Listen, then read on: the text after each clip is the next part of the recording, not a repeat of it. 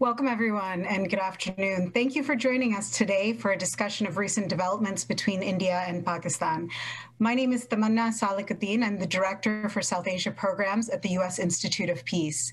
USIP is a national, nonpartisan, independent institute founded by Congress and dedicated to the proposition that a world without violent conflict is possible, practical, and essential for U.S. and global security. In February of this year, surprisingly, India and Pakistan announced the resumption of a 2003 ceasefire along the line of control. And you know, this came as a surprise to many people because the two nuclear powers had basically cut off almost all dialogue and diplomatic engagement since 2019. And as many of you recall, 2019 was a, a, particularly bad year. It was marked by a militant attack against Indian security forces in Pulwama, Kashmir, and then Indian retaliation in Balakot, Pakistan. And later that year, India repealed Article 370 and bifurcated the state of Jammu and Kashmir into two union territories. So tensions since that year have remained quite high. Um, and for the last two years, we really haven't seen any uh, real developments between the two countries. And then this year, we saw the resumption of the ceasefire agreement, positive remarks by the Pakistani Army Chief Bajwa regarding normalization, Indian Prime Minister Modi sending Pakistan Day greetings to Prime Minister Imran Khan, and an exchange of positive letters between the two. And then last month, we even saw the meeting of the Permanent Indus Commission in New Delhi after a period of three years of not meeting. So is this really a thaw? Is there something more here? What's driving these attempts and is it sustainable?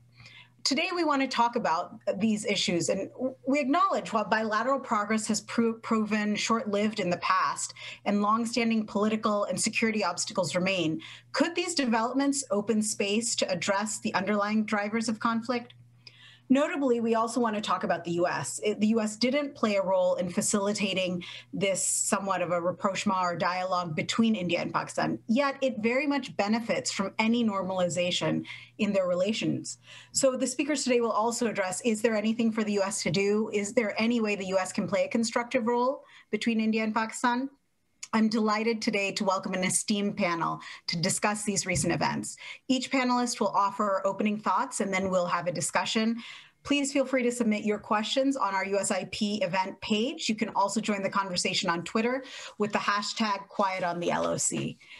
Um, I'd like to introduce our wonderful speakers today. First of all, all we'll have uh, Shuja Nawaz. Shuja was the first director of the South Asia Center at the Atlantic Council, and he currently serves as a distinguished fellow at the center. Previously, he's worked with RAND, he's worked with USIP, CSIS, and a host of other think tanks on projects dealing with Pakistan and the Middle East. He's the author of several books, including his latest, The Battle for Pakistan, The Bitter U.S. Friendship, and a Tough Neighborhood. Next, we'll turn to Madiha Afzal, who is a Rubenstein Fellow in Foreign Policy uh, at the Brookings Institution. Her research lies at the intersection of political economy, development, security, and with a focus on Pakistan. And she's the author of Pakistan Under Siege, Extremism, Society, and the State. Next, we'll turn, and we're very happy to have him, Ashley Tellis, who holds the Tata Chair for Strategic Affairs and is currently a senior fellow at the Carnegie Endowment for International Peace. Um, you know, he has uh, lots of experience in India, and uh, when he was senior advisor to Undersecretary of State for Political Affairs, he was intimately involved in negotiating this uh, civil nuclear agreement with India. He's the author of several books, um, including India's Emerging Nuclear Posture, co-author of Interpreting China's Grand Strategy past, present, and future. And last, but certainly not least, Tanvi Madan. Tanvi is a senior fellow at the Project on International Order and Strategy and director of the India Project at the Brookings Institution.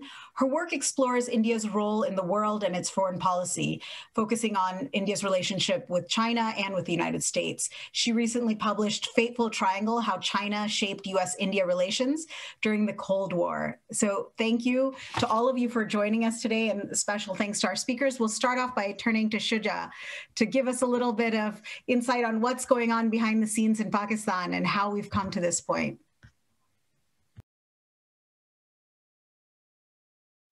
You're muted, Shuja.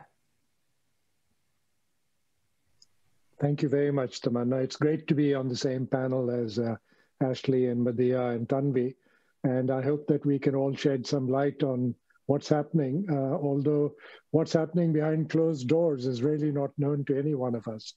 Um, I think uh, very few people know exactly what's going on. Uh, and sometimes I wonder whether even the people behind closed doors know what's going on. So um, we will be able to collectively uh, shed some light on, on the events. Let me first state my priors. And my priors are that I have, um, ever since I launched the South Asia Center at the Atlantic Council, been waging peace, trying to get India and Pakistan to talk to each other. We were involved in setting up a, a track to military to military dialogue, a dialogue on water issues, as well as one on trade and business. Um, so, uh, having said that, I should warn against irrational exuberance, particularly after one speech, which seems to have been the trigger point uh, when General Bajwa made his speech in Pakistan. Um, it seemed to raise hopes all of a sudden. But like most things that happen between India and Pakistan, uh, this was followed immediately with a kind of a mini U-turn, with the announcement of uh, opening of trade and then the cancellation of that order. It reminded me of uh, the old joke about uh, General Ziaul Haq's early government when he had the title of Chief Martial Law Administrator, which stood for CMLA. And people started saying, cancel my last announcement. Uh, so th this is the same kind of U-turn that occurred. Uh, now, there are unconfirmed reports of back channel contacts. There are unconfirmed reports of third party assistance. Um, and, and, I can sort of semi confirm that some of the, the third party activities are going on, but uh, nobody wants to talk about that because they don't want to jinx the outcome. Uh, India, as you know, has traditionally spurned third party involvement. Uh, why would it uh, want to accept it now? That remains a big mystery. Let me address a few key points from the Pakistani point of view. Um, I'm simply reflecting what I think is going on there, uh, because as I said, I don't know what's going on behind those closed doors. But we must first see this against the backdrop of what I call a misalliance that currently exists in Pakistan, an unequal marriage between the government of Prime Minister Imran Khan and the Pakistan military. Um, and there's also a sign of a fractured government. Uh, parts of the government don't agree with each other, mainly because it is a coalition and they have brought together disparate groups. And uh, it's a party essentially of political turncoats who left many other traditional parties to join this new uh, front. Uh, and, and they're trying to make uh, a go of it now.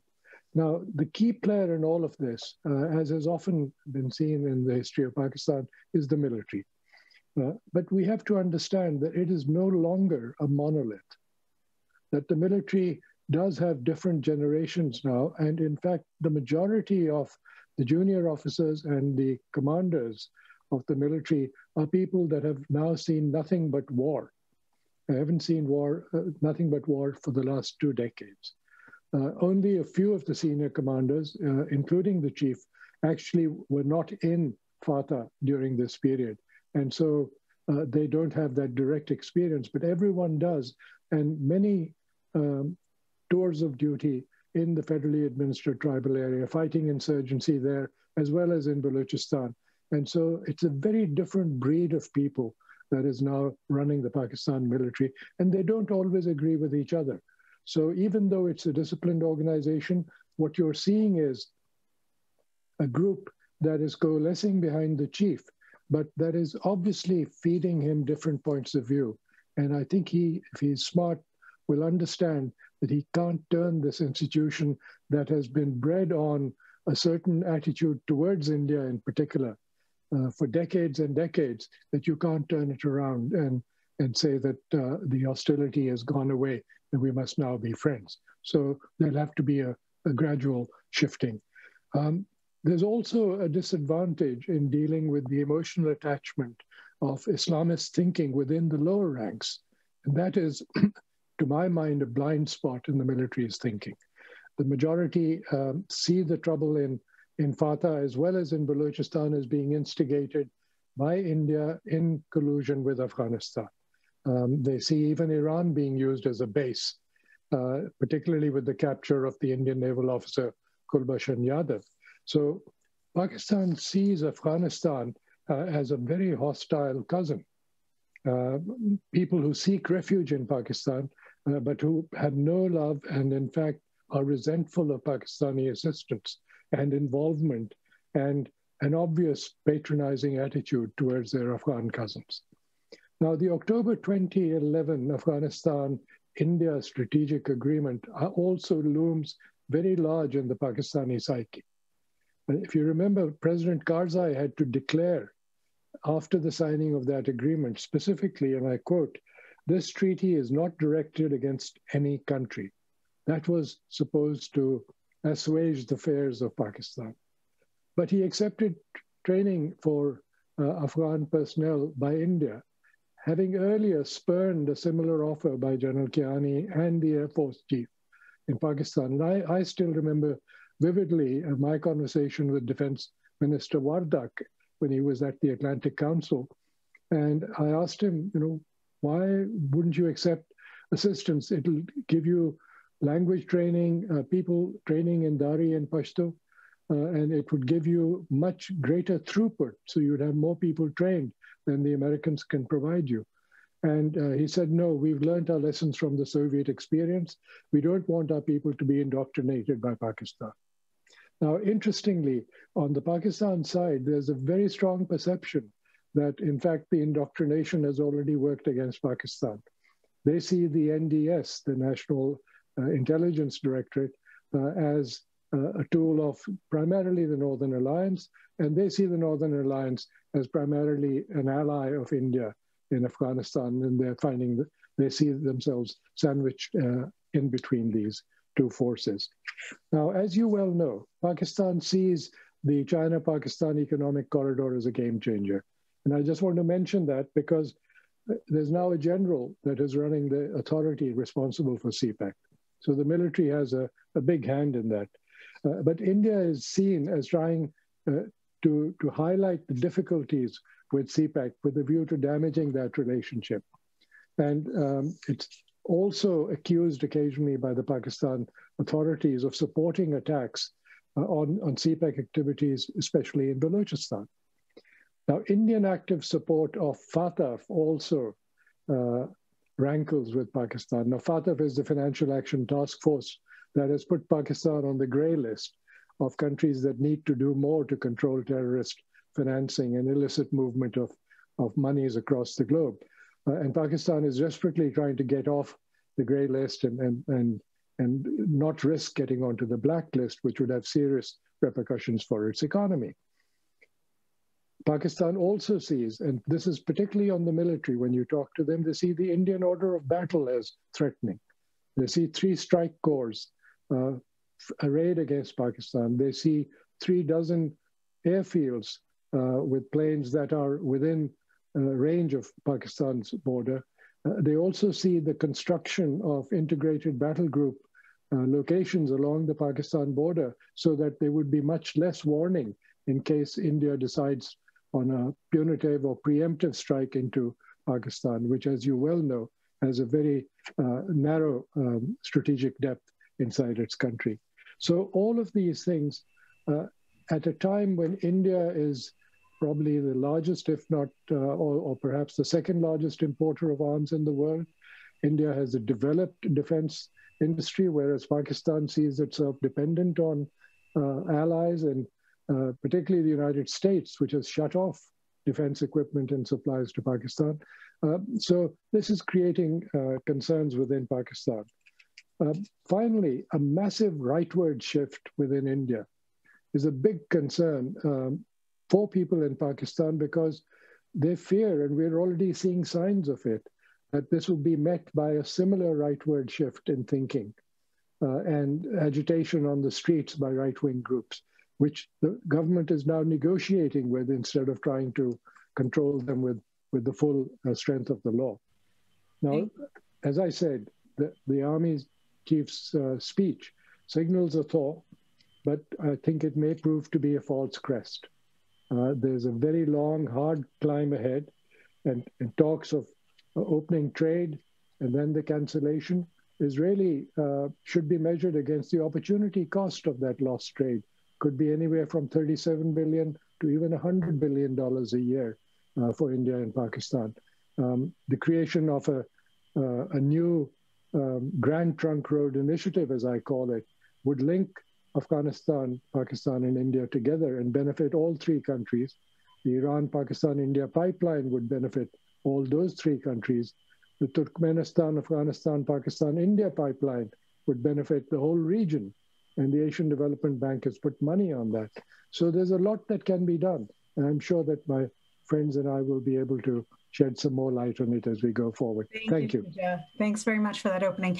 Next, I'd like to turn to Madiha. Um, Shuja raised the issues of where the military might not be a monolith, but it really was the military that made, you know, they're the ones, the DGMOs are the ones who um, resume the ceasefire. The General Bajwa is the one who came out in front. And the, you know, all the stories are that the civilian government is not as far leaning. So I'd love to hear from you where the politics uh, about any sort of thaw with India are, where the public opinion is, what are, where is there opportunity in Pakistan and where are the obstacles? Absolutely. Thanks, thanks, Tamanna, um, and thanks for convening this uh, really timely and important discussion. Um, on, on sort of uh, the, the politics uh, of the matter in Pakistan, I think there is a common perception in Pakistan um, that the military tends to block a civilian government's overtures to India. Or somehow or the other, something else happens, right? There's a terrorist attack that, that blocks civilian government's overtures. And if there ever you know, if Pakistan ever wants peace or if the military ever wants peace, it wants to be the one making the overture. So I'll just walk you through this logic and then show how the current moment um, uh, sort of uh, shows us a different dynamic. So, um, you know, we had Nawaz Sharif uh, uh, and Vajpayee's historic meeting in 1999, followed by the Kargil crisis um, that year. And, you know, Musharraf and the army not too happy about uh, Vajpayee and Nawaz Sharif's um, uh, meeting. Of course, then Musharraf made an attempt at peace, right, in 2001, and that was followed by an attack on the Indian parliament that year. Um, so as I said, there's a sense that the Pakistani military is not too happy when the civilian government is the one making the overtures and that it wants the credit uh, for, for any such overture. In that sense, this is a really opportune time, right? Um, uh, uh, because while uh, you know there's a civilian government in charge, uh, this is quite a unique setup with Imran Khan and Bajwa uh, and the Pakistani military and the civilian government. You know, we're told repeatedly being on the same page. So in that sense, this was a really opportune time for this kind of speech that General Bajwa made, um, and I'll I'll come to that uh, in a little bit. But basically saying, you know, we want to bury the past. It's time to extend the hand of peace in all directions, and so on. But I think what this current moment shows is that while the military can make overtures and while the civilian government can be on the same page as the military, politics and public opinion can play a role that blocks this, right? So it's not just the military blocking a civilian government's overtures, but politics and public opinion, in this case, blocking, a civilian military kind of uh, regime that's on the same page, its overtures. Um, and that is something underappreciated, I think. So, so Bajwa made his historic speech. General Bajwa made the, the speech at the Islamabad Security Dialogue, and um, and then soon after that, there was an announcement by the Economic Coordination Committee um, uh, in Pakistan, basically saying that they would reduce. They, they would start trade uh, with India again. In particular, they would start importing cotton and sugar uh, for Pakistan's needs. You know, Pakistan sort of badly needs uh, these two items. Um, and this is trade that had been cut off after uh, uh, the revocation of Kashmir's autonomy uh, in August 2019. And so the, the ECC, the Economic Coordination Committee, comes forward with this decision publicly. Imran Khan, um, as the minister in charge of commerce and textile, oversees this right? So in that role, he okays it. And then the next day, the cabinet says, no, the, this is a no-go. And Imran Khan, as the you know as the the person who heads the cabinet, basically uh, signs off on reversing this. And the cabinet sort of comes forward and says no trade with India. And there are ministers tripping over themselves, basically, in terms of rhetoric, saying, you know, we're not going to trade with India until the Kashmir issue is resolved. Uh, and, and so, you know, one step forward, one one back, and and you know the the rhetoric, uh, uh, you know, was there for everyone to see. So this shows there were three sort of possible factors. So one, I would say, is politics, plain old politics, where opposition parties are there to undermine the ruling party. In Pakistan, where the parties are broadly non-ideological, I mean, there are there are some ideological differences, what the opposition really amounts to doing is sort of trying to take down the ruling party's decisions. And in this case, this is not just, you know, here they're trying to take down both Imran Khan and Bajwa's kind of joint overture. So that, that's just politics. To public opinion, and I'll come to public opinion a little bit more in detail in a minute.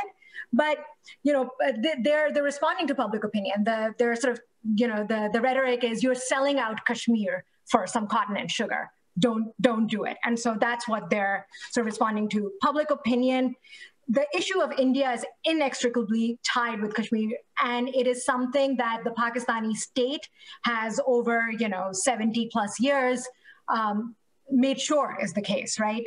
Um, and then um, the third, I think, issue there is sort of divisions in the military establishment are there people in the you know top ranks of the military who are not happy? Are there officers who are not happy with general bajwa's overtures right?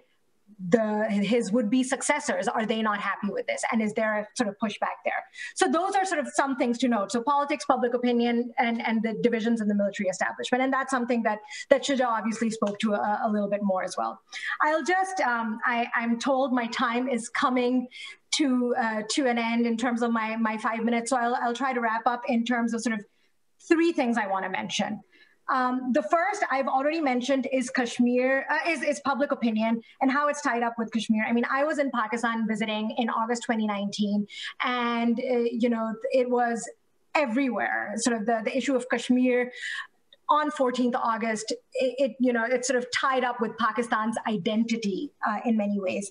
And if one one uh, looks at views on India and Pakistan, you know, I mean, unsurprisingly, views are very unfavorable. You know, the, the Pew polls will show you vast majorities of Pakistanis, 70% saying they have unfavorable views of India.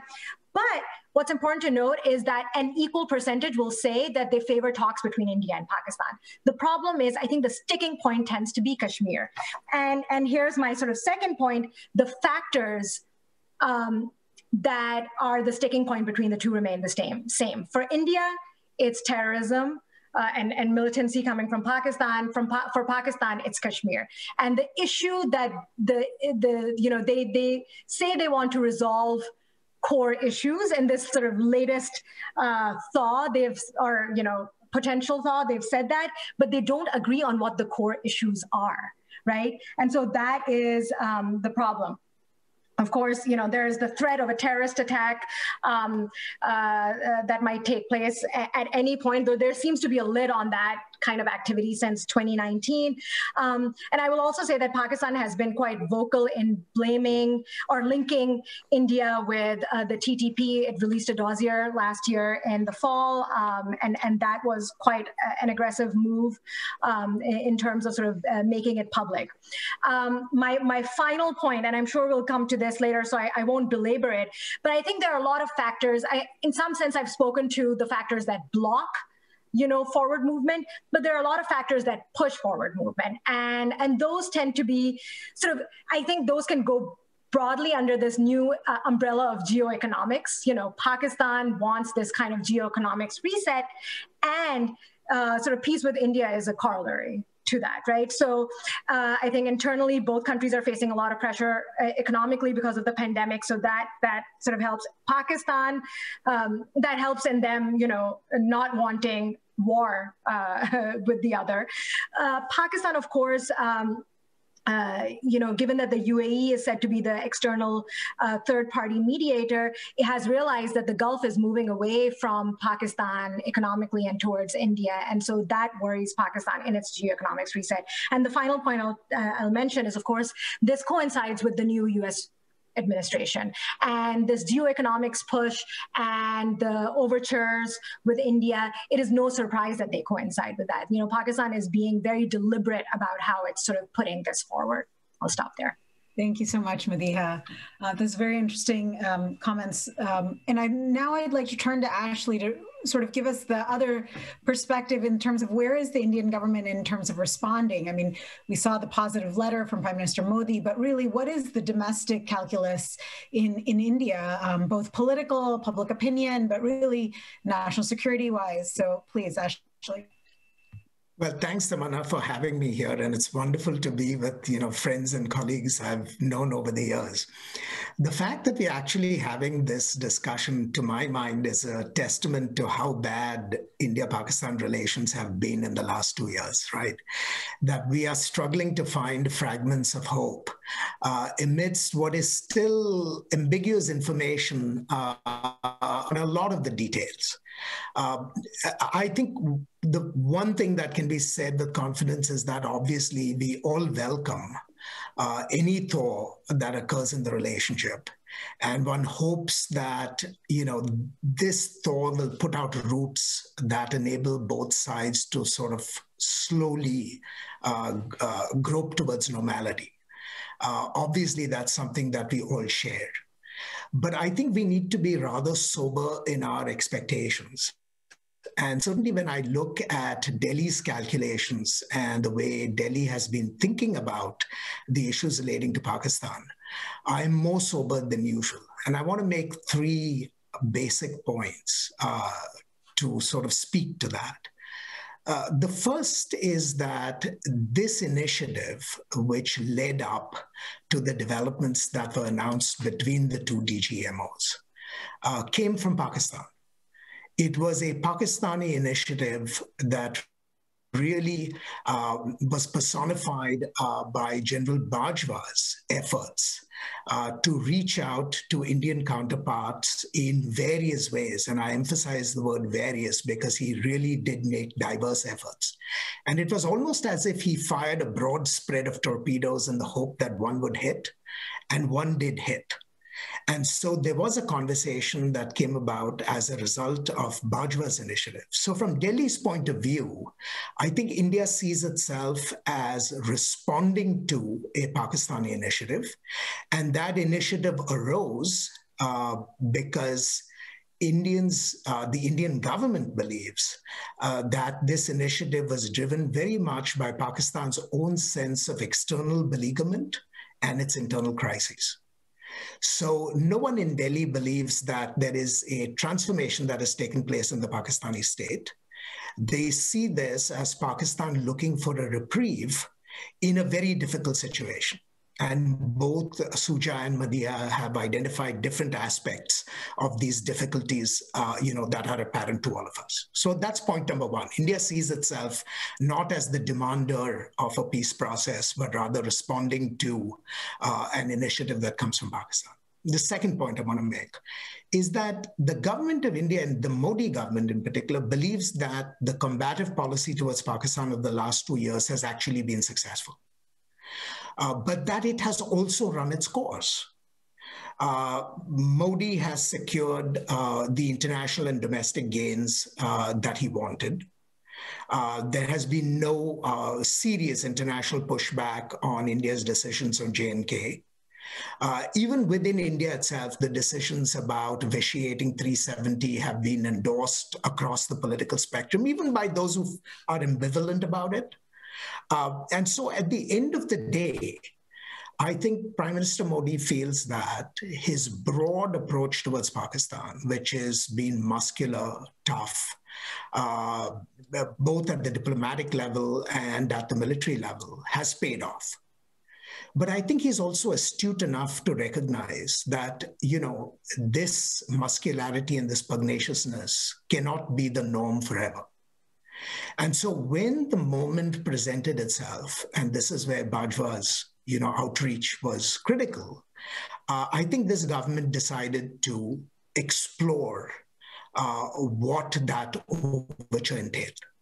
And so, from an Indian point of view, I see the government of India sort of sitting pretty uh, in the face of this Pakistani effort. Point number three I think the thaw that we see and that has been described in various ways. From an Indian point of view, is an opportunity for stabilizing what is a difficult relationship rather than any expectations of transformation. I don't think the Modi government believes that this is a moment for a new transformative, high profile initiative towards Pakistan. And there are very many reasons for this. I mean, the first and most important point is that I think the Modi government doesn't believe it has an effective partner on the Pakistani side uh, to begin a confirmation, to begin a conversation that would be transformative. Uh, they don't have faith uh, in the current civilian government. Uh, there are great uncertainties in the Pakistan military beyond uh, General Bajwa himself. And even General Bajwa has made, uh, you know, he's, he's said the right things, but there is a huge gap from an Indian point of view between Bajwa's articulations and then behavior as seen on the ground. And the two elements that I think India is still uncertain about is what is the Pakistan, what is the future of the Pakistan military's investment in various jihadi groups? So they welcome the statements that have been made, but whether that will actually translate into a confrontation with these groups, a suppression of these groups, I think there's there's an open question. They don't have an answer. And the second issue that is now hanging out on the horizon there is what is Pakistan's strategy towards Afghanistan going to be in the context of our own exit? And will Afghanistan once again be a new front? Uh, assuming that you know, it had ceased to be a front for some point at some time. Will it be a new front in the India-Pakistan relationship? So the third point, just to keep in mind, is that from an Indian point of view, this is a moment to stabilize a relationship, uh, to bring a semblance of normalcy, even if it's not real normalcy, uh, and just test the waters, right? It's a testing of the waters uh, to see where this relationship can go. Um, and I think uh, I want to end with just the point that nobody has great expectations at this juncture. Uh, for any fundamental change in the relationship, but I think everyone is just uh, is just satisfied uh, that a pause may be good enough for the moment. And if the pause creates new opportunities down the line, then I think you know both sides will have to look for ways to to seize those opportunities. But at the moment, I would not be uncorking the champagne that something dramatic has changed in South Asia. Yeah, thank you, Ashley. I think we all share your um, informed cynicism as Tanvi uh, outlined it. Uh, so if we are looking at this as trying to find some semblance of normalcy, I think there are other trends beyond just New Delhi and Islamabad. So I'd like to turn to Tanvi uh, to talk about the effect of global and regional trends on any possibility of moving towards normalcy or any possibility of continuing dialogue. Uh, thanks, Tamanna, and it's uh, it's great to be uh, on this panel with Shuja and Madiha and Ashley. Um, I'm going to draw on some of the themes that have already been mentioned, um, but what I, I also want to and and and also kind of subscribe to many of the caveats that others have given. I would also want, want to say is one of the things we don't know, and Shuja said, made sure we started us off from that point, was that I think it's because we don't also know the timing of this in some ways. It's been, it's important to recognize that this sudden, didn't this kind of thaw didn't suddenly happen and has been the outcome of an ongoing process. Um, so I want to be careful not to overinterpret proximate events. Um, but I think you can identify certain global and regional trends that have contributed to creating a confluence of conditions uh, that might have facilitated this window of opportunity between India and Pakistan at the very least. Um, I'll lay out kind of, I think there are three broad trends and then uh, kind of a, a, three and a half one, which is more proximate. I think the, the three broad trends that have had second and third order effects on India and Pakistan, I think one is major power competition. And I think this is both US China competition intensifying as well as India China competition. Then the second broad trend has been COVID and its fallout, including the constraints it has placed uh, on both governments. And the third is the US drawdown in Afghanistan. Um, that it will happen has been evident for the last few years, even if kind of the announcement was only made recently. And I think the final kind of the half additional factor um, that I would add is that I think it doesn't hurt either side to demonstrate to a new Biden administration with which they are trying to establish a good kind of working relationship that they are being the responsible stakeholder. Um, and so I think that's kind of a, a half thing, half factor that I'd, uh, I'd point out. how are these factors playing out? Um, I'll, I'll, I'll uh, uh, speak to it from the uh, from kind of the India side and then perhaps Pakistan side. I think for India, um, you know, for a Modi government that is facing a trifecta of crises, a national security crisis with China, the health crisis with COVID, uh, and the economic crisis because of the fallout uh, of COVID, in some ways, kind of this creates an opportune moment. And, you know, Ashley said, why accept it? It makes the incentive, gives the Modi government an incentive um, to say, you know, yes, let's try this out, even if it's short term. And it does, in some ways, reinforce Modi's initial instinct, if you go back to 2014, to at that time, he was, I think, more ambitious, but to seek stability so you can deal with more imperative issues, including kind of economic growth and development, playing a larger, larger role in the region, etc. Now, in 2014, he tried it with both China and Pakistan. China doesn't seem to be an option. So at the very least, even if it's just kind of creating a short um, short-term stability, it does it could uh, ease the burden on kind of even if it's just bandwidth and, and resources for the for the short term.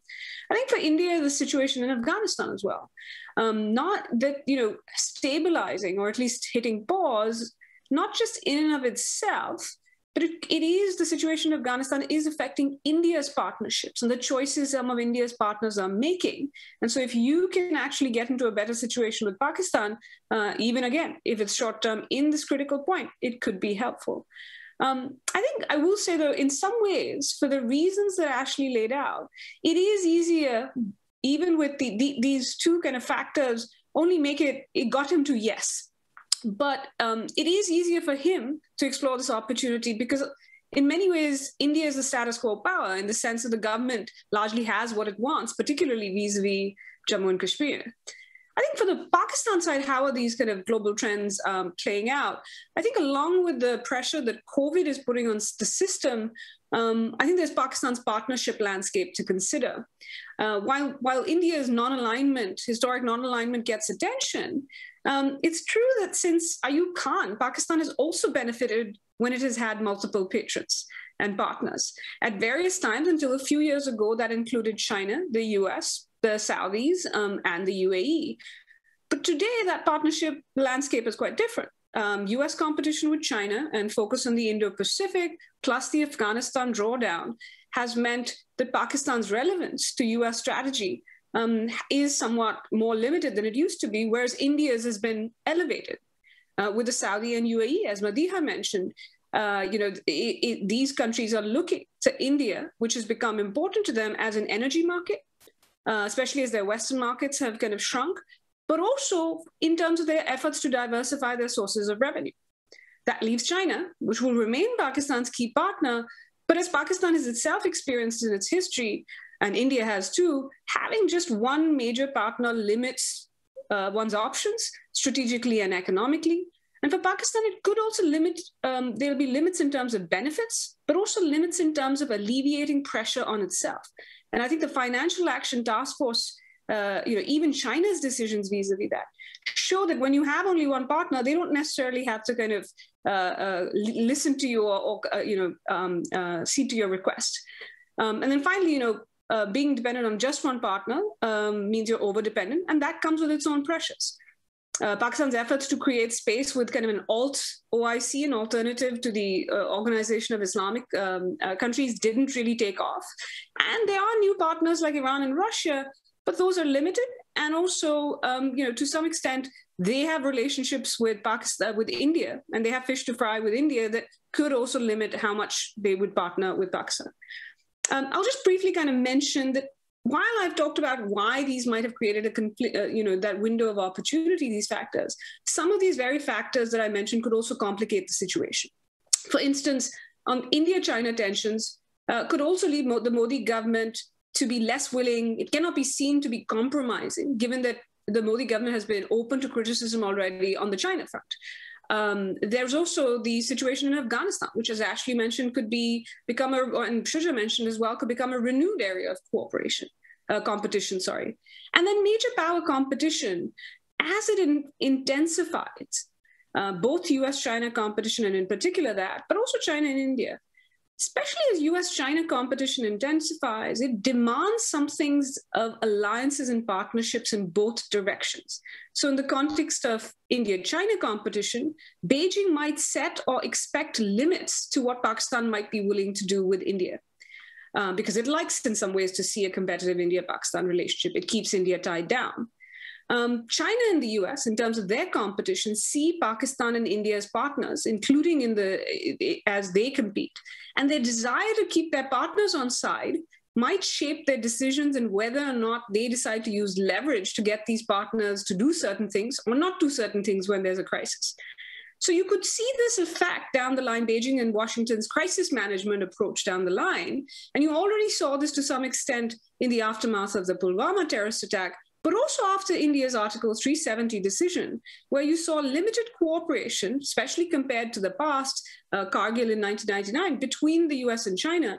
And there was even a sense in the US that not only was Beijing not being helpful in de escalation, but taking actions that were impeding others' efforts, including the UAE's and Washington's.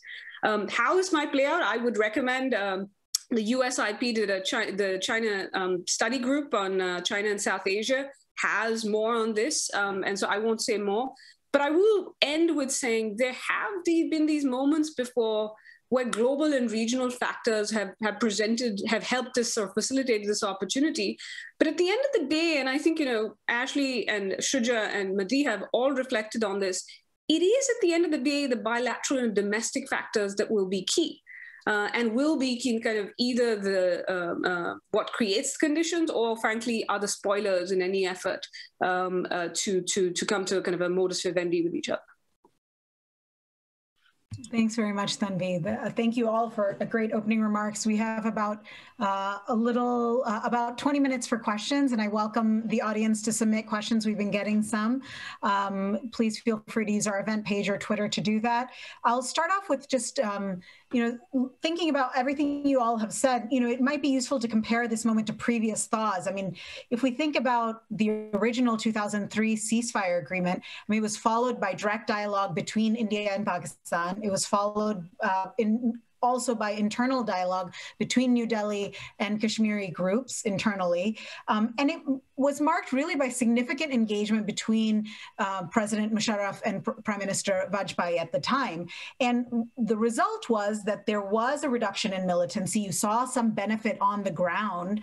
Um, especially in terms of situation in Jammu and Kashmir. So I don't think we're anywhere near that level. But even if it is uh, due to regional factors, or as Ashley said, maybe it's the, you know, the this is a moment that Pakistan needs this due to internal factors, or this is just something General Bajwa wants to do as one of his last acts. I mean, whatever the reasoning may be, what is actually in the realm of possible here? Is there any space for continuing this dialogue, whether it's, I mean, the UAE has publicly, Ambassador Otaiba has said uh, at the Hoover Institute that they are committed to this dialogue.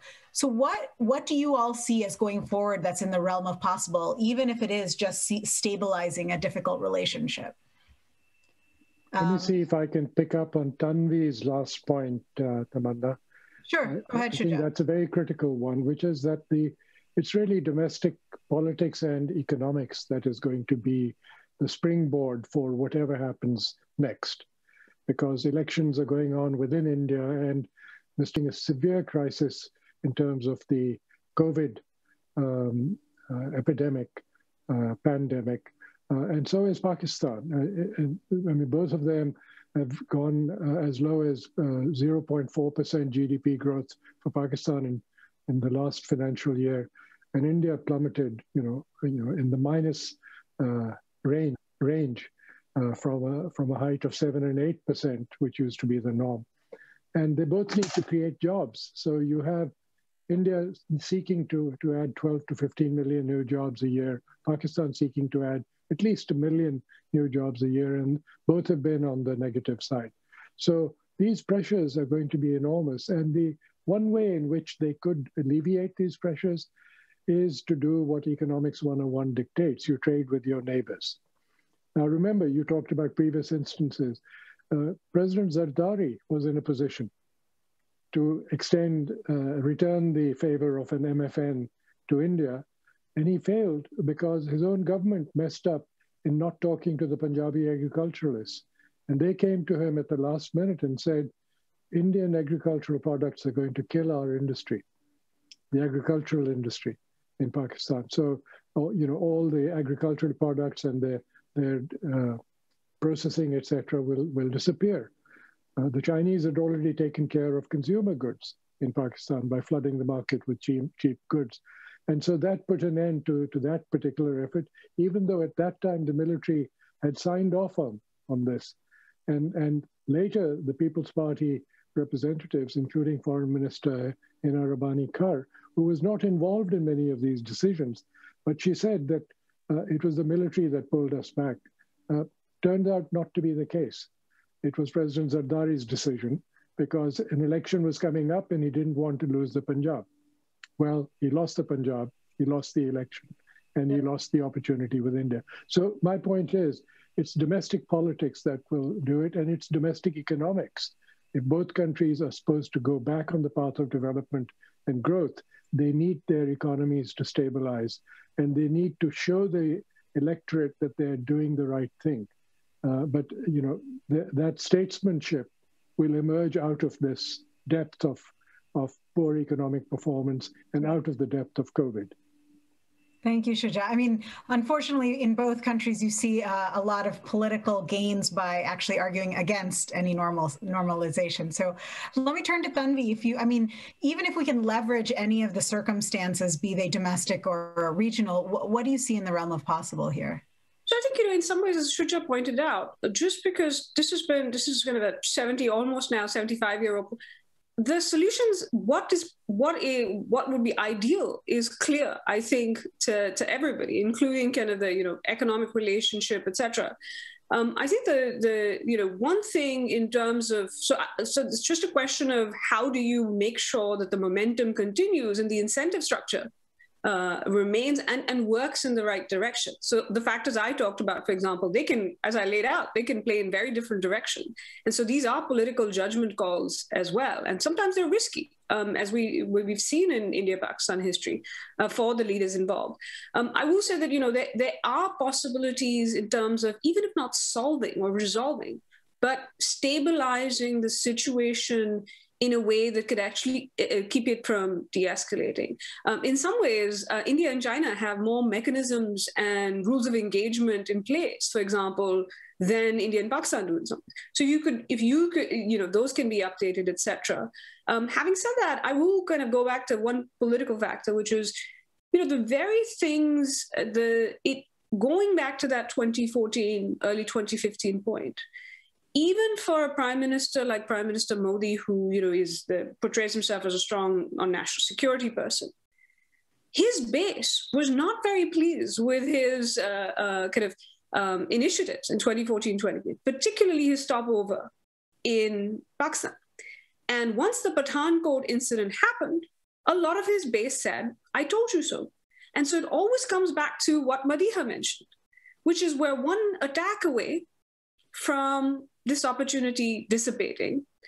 And that is always kind of hanging over these processes. So I think you can stabilize the situation, but it is also very, always kind of a very delicate um, uh, situation, which there isn't that much of a foundation beneath it that could keep it going. Uh, the COVID situation in India could play both ways. It could either uh, cause Prime Minister Modi to say, you know, let's handle this a different way, or it could be seen as a sign of certain parties kind of taking advantage of the situation. And then he will feel the need uh, to respond. Uh, because there is a sense in India, for example, that China did take advantage of COVID, the COVID situation this time last year to make its moves. Thanks so much, Tanvi. We've had a couple questions actually on in terms of climate and environmental degradation in the region. And it's really interesting. I mean, the Permanent Indus Commission meeting was probably the most frank and sort of technical meeting between the two countries and offer some space. Interestingly, the recent DNI's report on world global trends also recognizes that it's environmental and climate issues between India and Pakistan that in the future may spark escalation. So, you know, the questions questions from the audience really are, what is the scope of India-Pakistan coming together to counter any climate, water sharing, smog, all of these environmental issues that plague both nations? Um, is there any scope on that? I open it to, is there, Ashley, would you like to take that one? Well, I, I would just make the general point that for the next several months, you know, the best options are to think small. And to the degree that both sides can work on things that are not controversial, that don't capture and polarize populations either in their own countries or in the other countries, that's really the best thing that both sides can do and probably will do if they are serious. To me, the intermediate goal must be normalization of diplomatic relations, where you know the missions are actually staffed with ambassadors and so on and so forth, because that is the normal channel of communication in in in practice anyway. And if we can get to that point where both sides actually you know send their ambassadors back uh, to their respective positions, then I think you have the institutional architecture for a conversation. But I do not imagine any time in the near future uh, something that is even remotely similar to what happened between 2002 and 2007. I mean, we are very, very far away from that. Uh, what India is going to be looking for is really going to be on the terrorism front, right? And again, I don't think, I don't think there's an expectation that they that they want guaranteed outcomes. That is, they don't, nobody is expecting Pakistan to guarantee that there will be no terrorist attacks. But I think they want to see the equivalent of what Musharraf did between 2002 and 2004 where within his own country he began to openly make the case that extremism is not in Pakistan's advantage. Now, Bajwa has said things to that effect, and he said them, you know, quite forcefully in private. I think uh, if he were to take a more public, you know, stance on these issues, I think it would just build Indian confidence and and encourage them to move along the lines that have, you know, begun in small ways. Can a word just... of warning. Sorry. No, sorry. I just want to make some a point on the kind of climate change and water. Yeah, go ahead, Tanvi. At, at the end of the day, you know, for all the yes, there was some controversy. Was India going to kind of walk away from the Indus Water Treaty or things? It's held for an enormous amount of time. Uh, over over kind of since 1960. And so, you know, that is the kind of cooperation. But I'll also mentioned another one. Again, going to Ashley's point about starting small. Indian and Pakistani um, scientists and other experts coordinating over this plague of locusts that came. Um, they shared information, they gave warning, Pakistani experts gave warning to, it helped, it helped deal with the problem. And so, you know, even on in terms of COVID and health situation, if, you know, that doesn't get bogged down, you could start these conversations, not high expectations, because I think one of the problems in, with the India-Pakistan case is always extremely high um, thing, you could actually find ways. Delhi and uh, Lahore, uh, Delhi and um, uh, Lahore, for example, face the same because they're at the same level um, air pollution problem. Why not? Both have complaints about agricultural areas and stubble burning. You know, that's the kind of thing you could actually start to have a conversation about. And it doesn't, it's not connected to some of these larger issues, but people's daily lives. So even starting small, you know, dealing with kind of how uh, fishermen who are fisherwomen for that matter who are detained those kind of things i think don't hurt and they don't reach the level of everybody starting to complain why are you doing this uh, with somebody else because it's a bit of a no-brainer i can just make you know I, I guess the broader point that i see here is that this really sort of seems to fit into a cycle, right? Of uh, you know the relationship worsening and then getting a little bit better to you know what uh, all of us have called stabilization, and then worsening again and getting to a little bit better. And then the I think the question is, can we get to a stabilization in the longer term.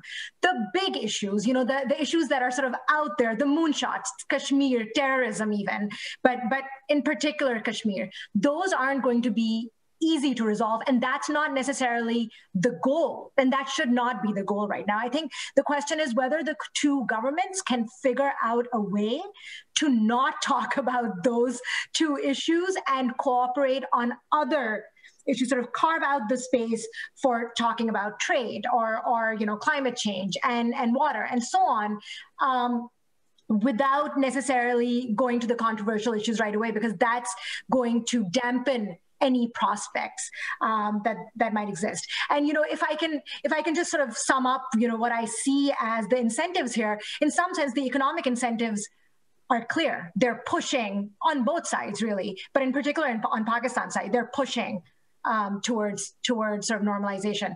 And uh, politics is the the pull, which is taking uh, taking both countries away. Yeah.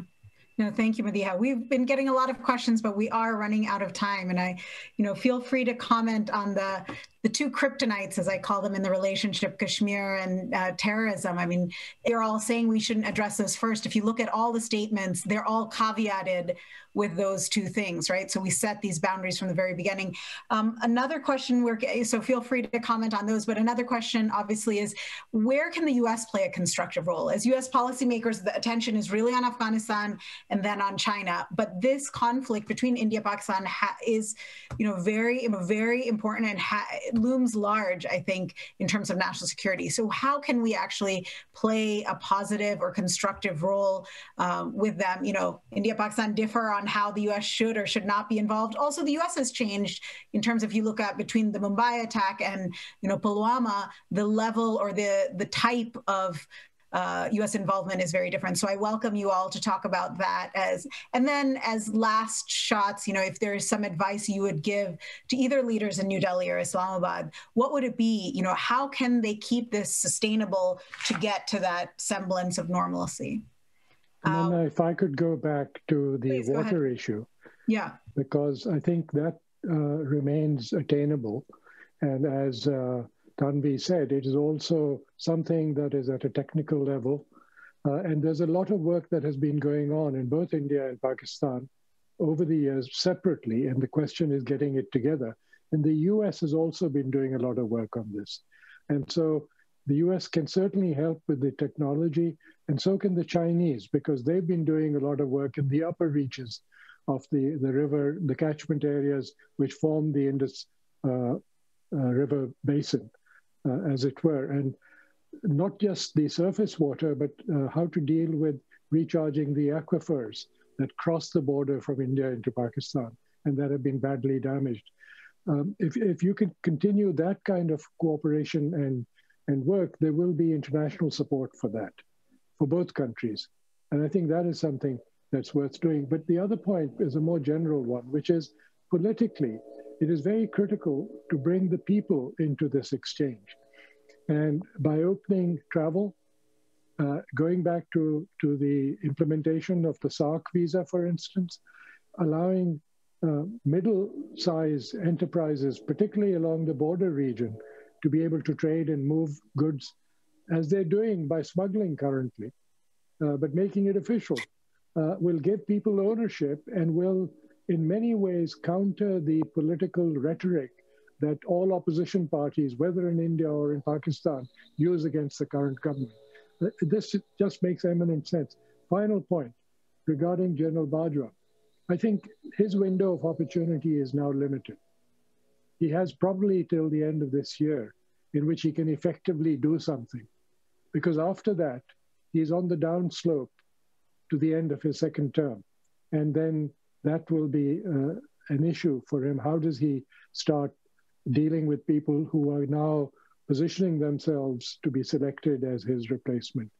Um, because a third term is, is probably most unlikely uh, unless Imran Khan um, really runs out of all options.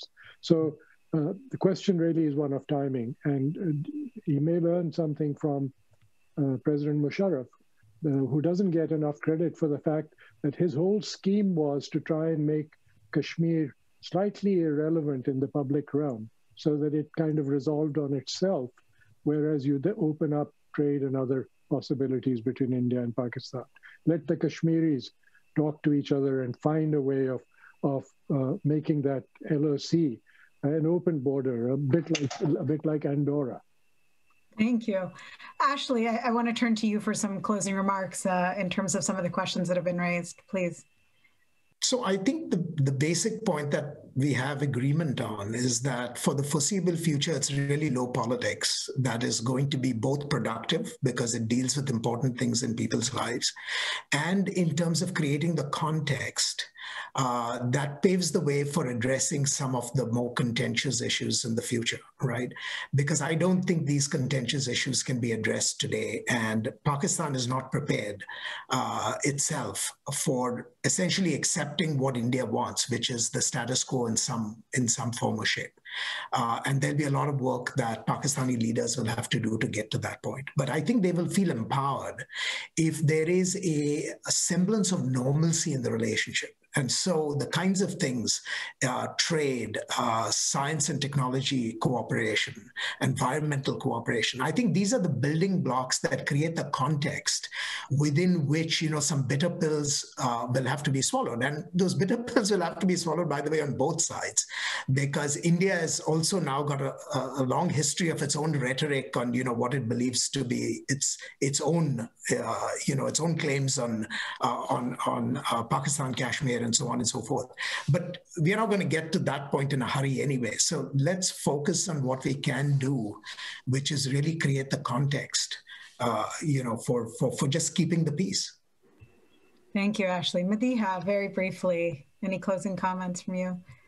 Sure, sure. I'll be very brief. Um, I think you, you, said, you know, advice to um, Islamabad, for instance, my, my advice would be to not have an incident like the ECC one recur, right? So make politics work for you. Now, with Imran Khan and his contentious relationship with the opposition, eh, you know, um, of course, that's harder um, to do and easier to say.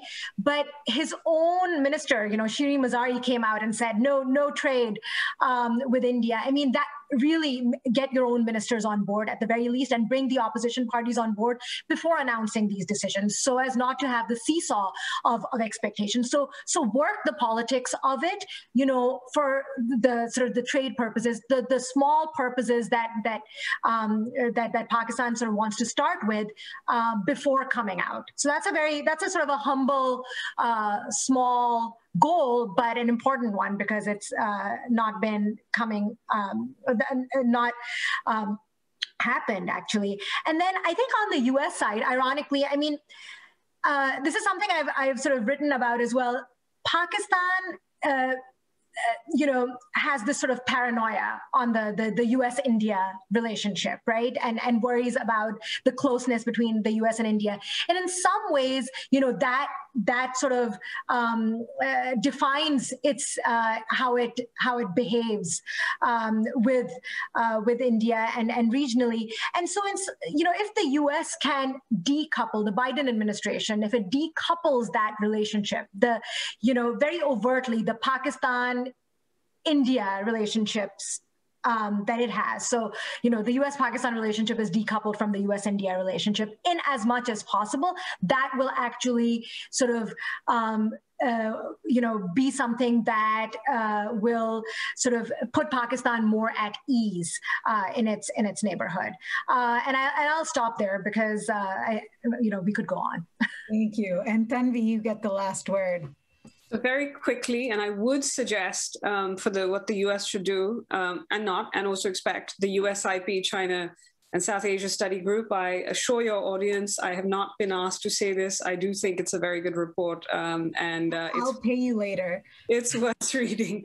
I will say, just in terms of advice for uh, for Islamabad, for Pindi, for Delhi, um, which is don't do things, don't do and say things that will make it other, harder for the other side to see this through. Um, and we can talk about why, but I think in at, at, in various occasions we've seen this, including recently. Uh, may, there are certain things that you want to do and say for your own domestic political audience, but they will make it harder for the other side to carry through. So resist.